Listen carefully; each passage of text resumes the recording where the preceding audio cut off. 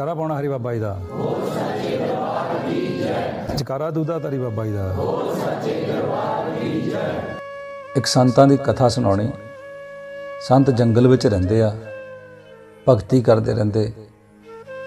ਸਮਾਂ ਪਿਆ ਉਹਨਾਂ ਦੇ, ਸ਼ਿਸ਼ ਬਹੁਤ ਵੱਧ ਗਏ। ਤੇ ਪੰਡਿਤ ਪਰਿਵਾਰ ਵਿੱਚੋਂ ਦੋ ਬੱਚੇ ਮਿਲੇ ਉਹਨਾਂ ਨੂੰ। ਇੱਕ ਪਿੰਡ ਸੀ, ਉਸ ਨਗਰ ਦੇ ਵਿੱਚ ਇੱਕ ਸ਼ਾਹੂਕਾਰ ਰਹਿੰਦਾ ਸੀਗਾ।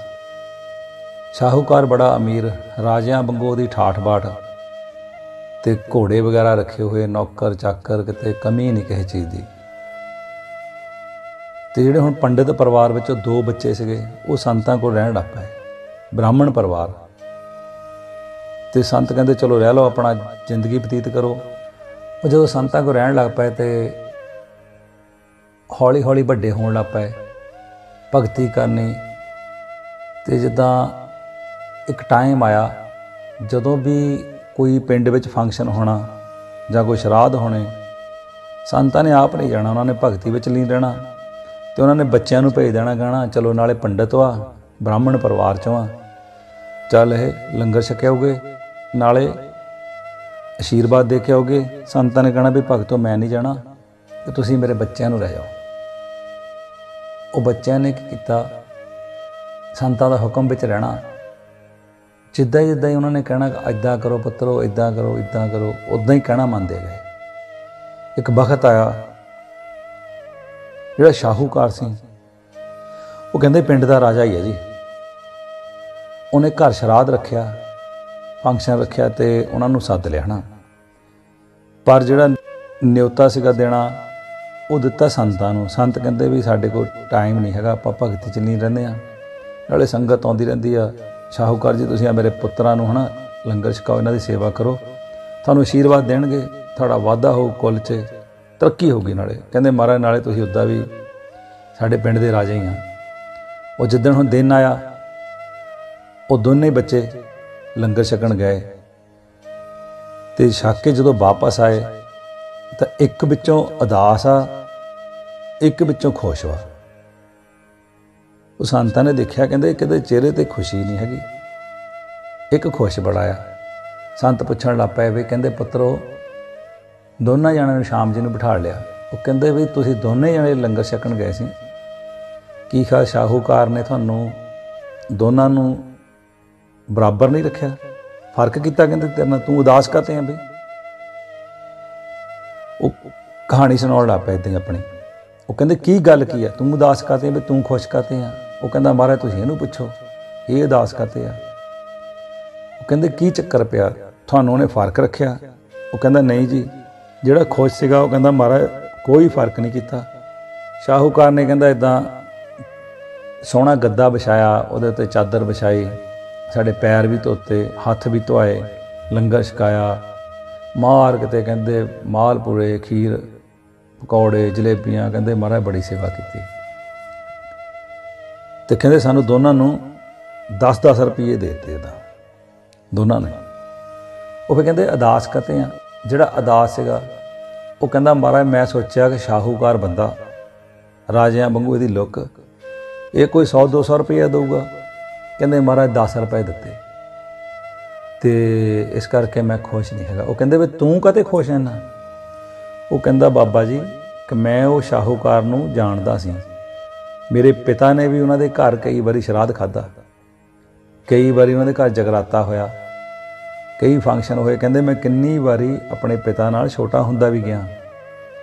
ਉਹ ਕਹਿੰਦੇ ਖੁਸ਼ ਕਾਤੇ ਆ? ਉਹ ਕਹਿੰਦੇ, ਮਹਾਰਾਜ, ਮੈਂ ਉਹਨੂੰ ਜਾਣਦਾ ਸੀਗਾ। ਕਹਿੰਦੇ, ਮੈਂ ਤਾਂ ਸੋਚਿਆ ਸੀਗਾ ਉਹਨੇ 2 ਰੁਪਏ ਦੇਣੇ ਆ। ਉਹਨੇ ਕਹਿੰਦਾ, ਜਦੋਂ 10 ਦਿੱਤੇ, ਕਹਿੰਦਾ, ਮੈਂ ਤਾਂ ਸੱਤਾਂ ਦੀ ਖੁਸ਼ੀ 'ਚ ਭੰਗੜੇ ਪਾਈ ਜਾਂਦਾ। ਕੋਨੇ ਸੱਤ ਵਾਧੂ ਦੇ ਦਿੱਤੇ। ਉਹ ਤਾਂ ਐਡਾ ਕੰਜੂਸ ਬੰਦਾ। ਕਲਪਨਾ ਵੀ ਨਹੀਂ ਕੀਤੀ ਜਾ ਸਕਦੀ। ਮਹਾਰਾਜ 7 ਰੁਪਏ ਵਾਧੂ ਦੇ ਦਿੱਤੇ। ਕਹਿੰਦਾ ਮੇਰੇ ਡੈਡੀ ਨੂੰ ਹਮੇਸ਼ਾ 2 ਰੁਪਏ ਹੀ ਦਿੰਦਾ ਹੁੰਦਾ ਸੀ। ਕਦੀ ਉਹਨੂੰ ਤਾਂ 3 ਵੀ ਨਹੀਂ ਦਿੱਤੇ। ਤੇ ਜਾਣੀ ਜਿਹੜੀ ਖੁਸ਼ੀ ਹੈ ਨਾ, ਉਹਨੂੰ 7 ਰੁਪਏ ਲੈਣ ਨਾਲ ਬੜੀ ਖੁਸ਼ੀ ਸੀਗੀ। ਹੁਣ ਜਿਹਨੇ ਕਦੀ ਉਹਨੂੰ ਸੁਭਾਅ ਨਹੀਂ ਸੀ ਦੇਖਿਆ, ਉਹਨੂੰ ਇਹ ਲੱਗਦਾ ਸੀ, ਅਮੀਰ ਬੰਦਾ ਆ ਕਿ ਮੇਰੀ ਬਹੁਤ ਲਹਿਰਾਂ ਬਹਿਰਾਂ ਕਰ ਦਊਗਾ। ਇਸ ਕਰਕੇ ਖੁਸ਼ੀ ਜਿਹੜੀ ਤੁਹਾਡੇ ਅੰਦਰ ਦੀ ਪ੍ਰਗਟਾਵਾ ਆ। ਪੈਸੇ ਮਿਲਣ ਚਾਹੇ ਨਾ ਮਿਲਣ ਕੁਝ ਮਿਲੇ ਚਾਹੇ ਨਾ ਮਿਲੇ ਜਿਹਨੇ ਆਨੰਦ ਲੈਣਾ ਆ ਜੀਵਨ ਦੀ ਖੁਸ਼ੀ ਪ੍ਰਾਪਤ ਕਰਨੀ ਆ, ਉਹ ਭੋਜਨ ਵਿੱਚ ਵੀ ਮਿਲ ਸਕਦੀ ਹੈ ਦੇਖੋ, ਹੁਣ ਦੋਨਾਂ ਨੂੰ ਭੋਜਨ ਮਿਲਿਆ ਬਰਾਬਰ। ਕਮੀ ਨਹੀਂ ਕਿਸੇ ਚੀਜ਼ ਦੀ ਰੱਖੀ ਉਹਨਾਂ ਨੇ। ਸਾਰੀਆਂ ਚੀਜ਼ਾਂ ਬਰਾਬਰ, ਪੈਸੇ ਵੀ ਬਰਾਬਰ। ਜੇ ਤਾਂ ਉਹਨੇ ਸ਼ਾਹੂਕਾਰ ਨੇ ਫ਼ਰਕ ਕੀਤਾ ਹੋਵੇ। ਫ਼ਰਕ ਕਿੱਥੇ ਆ? ਤੁਹਾਡੇ ਬ੍ਰੇਨ 'ਚ ਫ਼ਰਕ ਵਾ। ਉਹ ਬੱਚਾ 7 ਰੁਪਏ ਨਾਲ ਖੁਸ਼ ਆ, ਪੈਸੇ ਉਹਨੂੰ ਵੀ ਬਰਾਬਰ ਮਿਲੇ, ਪਰ ਉਹ ਉਦਾਸ ਵਾ। ਇਦਾਂ ਹੀ ਜ਼ਿੰਦਗੀ ਵਿੱਚ ਕਈਆਂ ਨੂੰ ਪੈਸਾ, ਧਨ, ਦੌਲਤ ਬਹੁਤ ਕੁਝ ਮਿਲਦਾ, ਪਰ ਫਿਰ ਵੀ ਉਹ ਖੁਸ਼ੀ ਨਹੀਂ ਮਿਲਦੀ ਉਹਨਾਂ ਨੂੰ। ਖੁਸ਼ੀ ਜਿਹਨੇ ਲੈਣੀ ਆ, ਉਹਦੇ ਕੋਲ ਭਾਵੇਂ ਕੁਝ ਵੀ ਨਾ ਹੋਵੇ, ਕਿਸੇ ਵੇਲੇ ਪਰਮਾਤਮਾ ਦਾ ਹੁਕਮ ਆ ਜਾਏ, ਜਿੱਦਾਂ ਮੰਨ ਲਓ ਬਾਬਾ ਜੀ ਦਾ ਹੁਕਮ ਆ ਜਾਏ ਭਗਤਾ, ਛੱਡ ਦੇ ਕਾਰੋਬਾਰ, ਛੱਡ ਦੇ ਦੁਕਾਨਦਾਰੀਆਂ, ਕਿ ਤੂੰ ਮੇਰਾ ਬੱਚਾ ਆ ਕਿ ਚਲਾ ਜਾ ਜੰਗਲ ਵਿੱਚ ਤਪ ਕਰ, ਤੈਨੂੰ ਲੰਗਰ ਵੀ ਮਿਲੂ, ਕਮਰੇ ਵੀ ਮਿਲੂਗੇ। ਉਸ ਲਈ ਸਭ ਕੁਝ ਤਿਆਗ ਕੇ ਸਲੇਰਨ ਧਾਮ ਦਾ ਰਸਤਾ ਫੜ ਲਓ। ਬਸ ਉਹਦੇ ਵਿੱਚ ਹੀ ਖੁਸ਼ੀ ਆ। ਸਲੇਰਨ ਠੰਡੀਆਂ ਪੌਣਾ ਚੱਲਦੀਆਂ। ਬਾਬਾ ਜੀ ਦਾ ਵਾਸ ਆ 24 ਘੰਟੇ ਲੰਗਰ ਚੱਲਦਾ। ਹਰ ਵਿਵਸਥਾ ਆ। ਕਮੀ ਨਹੀਂ ਰਹਿਣ ਦਿੱਤੀ ਬਾਬਾ ਜੀ ਨੇ। ਉੱਥੇ ਖੁਸ਼ੀਆਂ ਹੀ ਖੁਸ਼ੀਆਂ ਹਰ ਟਾਈਮ। ਬਿਨਾ ਪੈਸੇ ਤੋਂ ਤੁਹਾਨੂੰ ਖੁਸ਼ੀਆਂ ਮਿਲਣਗੀਆਂ। ਕੀਤਾ ਨਹੀਂ ਤਾਂ ਕਰਕੇ ਦੇਖੋ। ਥੋੜੇ ਦਿਨ ਰਹਿ ਕੇ ਦੇਖਿਓ। ਮੋਰੇ ਚੇਤ ਦਾ ਮਹੀਨਾ ਆ ਗਿਆ। ਜ਼ਿੰਦਗੀ ਵਿੱਚ ਬੰਦਾ ਕੋਈ ਕਿਤੇ ਜਾ ਕੇ ਰਹਿੰਦਾ, ਕੋਈ ਕਿਤੇ ਜਾ ਕੇ ਹੋਟਲਾਂ 'ਚ ਰਹਿੰਦਾ, ਕਿਸੇ ਵੇਲੇ ਹਸਪੀਟਲ ਵਿੱਚ ਜਾ ਕੇ ਰਹਿੰਦਾ। ਪਰ ਜੋ ਅਸੀਂ ਕਹਿ ਰਹੇ ਹਾਂ, ਇਹਦਾ ਕਹਿਣਾ ਮੰਨ ਕੇ ਦੇਖਿਓ ਤੁਸੀਂ ਸਲੇਰਨ ਧਾਮ 2-3 ਦਿਨ ਹੀ ਰਹਿ ਕੇ ਦੇਖ ਲਈਓ। ਸ਼ਾਮ ਜੇ ਨੂੰ ਜਾਣਾ, ਪਰ ਪੈਸਾ ਨਾ ਕੋਲ ਹੋਵੇ ਕੋਈ ਵੀ, ਭਰੋਸਾ ਬਾਬਾ ਜੀ ਤੇ ਹੋਵੇ। ਕਿ ਲੈ ਵੀ ਪੈਸਾ ਜੇਬ 'ਚ 1 ਰੁਪਿਆ ਨਹੀਂ ਲੈ ਜਾਣਾ। ਦੇਖਣਾ ਹੈ ਕਿ ਬਾਬਾ ਜੀ ਸਾਨੂੰ ਰੋਟੀ ਦਿੰਦੇ ਆ। ਉਹ ਤੁਹਾਡੀ ਸੋਚ ਹੋਊਗੀ। ਜਦੋਂ ਹੁਣ ਅਸੀਂ ਸਤਸੰਗ ਕਰਦੇ ਆ ਸਾਨੂੰ ਕੀ ਪਤਾ ਵਰਲਡ ਵਿੱਚੋਂ ਕਿਹਨੇ ਚੱਲ ਜਾਣਾ ਇਹ ਸੁਣ ਕੇ। ਪੈਸਾ 1 ਰੁਪਿਆ ਵੀ ਨਹੀਂ ਨਾਲ ਰੱਖਣਾ। ਬਸ ਆਪਣੇ ਕੱਪੜੇ ਪਾਉਣੇ ਆ, ਬਸ ਇਹਦਾ ਫ੍ਰੀ ਹੋਣਾ, ਕਿ ਨਾ ਮੈਂ ਫੋਨ ਲੈ ਜਾਣਾ ਨਾ ਪੈਸਾ ਲੈ ਜਾਣਾ ਕਿ ਨਾ ਹੀ ਅੰਤ ਸਮੇਂ ਨਾਲ ਕੁਝ ਜਾਣਾ। ਬਸ ਮੈਂ ਆਪਣੇ ਬਾਬਾ ਪੌਣਾ ਹਰੀ ਦੇ ਘਰ ਜੰਲਾ ਕਿ ਸਲੇਰਨ ਧਾਮ ਜਾ ਕੇ ਰਹਿਣਾ, ਕਿ 3 ਦਿਨ ਜਾਂ 5 ਦਿਨ ਰਹਿ ਕੇ ਦੇਖਣਾ।